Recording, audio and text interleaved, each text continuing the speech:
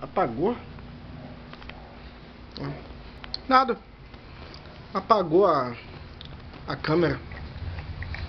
Então, o modo de vida deles é bem, é bem integrado a, a, a, a, essa visão essa visão da, da, da, mãe da mãe submissa que cuida da casa é, é erro né porque na verdade quem cuida da casa são os empregados ela só dá as ordens ela ela junto com o marido coordena tudo que acontece na, na vida familiar eles não deixam os filhos é, se perderem no caminho na mão de gente estranha tentam dar uma educação que eduque eles a serem adultos e tomar decisões desde cedo.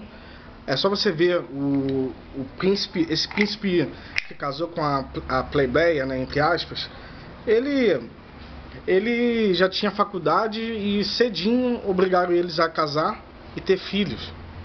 E é, esse, esse, é assim que a, a, a elite vive.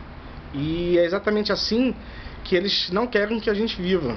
Eles não querem mais que a gente tenha filhos. Eles querem que a gente não case, que se, se ajuntem, exatamente para poder facilitar e dominar a, a, a sociedade.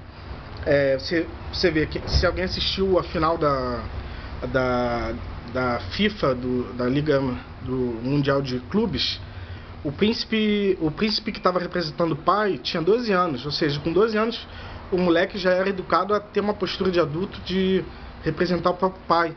Que, que pai de classe média e, e pobre aí é, botaria teu filho para representar ele num trabalho, por exemplo, com 12 anos? A gente é educado, a gente é educado a, a criar nossos filhos assim. Eles, a gente vê isso na novela. A gente é passado a criar nossos filhos mimando eles, a, a fazerem eles é, alongarem a juventude até, até os 30 anos, como aconteceu comigo, né? Enquanto que a elite não, a elite ela quer que você vive, viva até. Viva. É, seja de adulto com 12 anos, com 15 anos, antigamente se casava, né? E, e essa é a realidade. Então assim, vocês querem viver essa fantasia dos romances? É com vocês. Não é assim que que a banda toca pra quem tá lá em cima. E eles querem exatamente que, que vocês não copiem eles. Porque eles têm medo de, de que o povo é, reverta a situação. Então é isso. E aí criam, criam essa, essas, essas palhaçadas de direita, esquerda, capitalismo, comunismo. É tudo. Tudo armação, tudo teatro pra.